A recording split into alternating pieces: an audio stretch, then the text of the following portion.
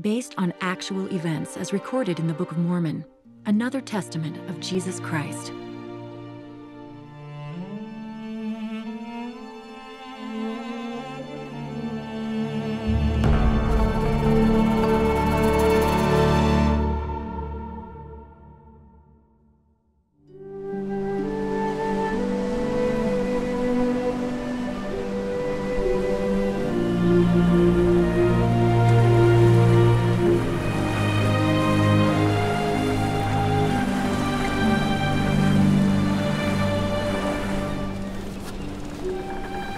Jacob, it works according to our faith and obedience.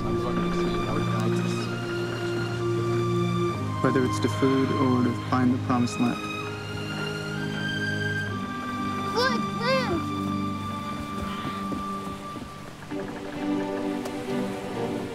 The promised land.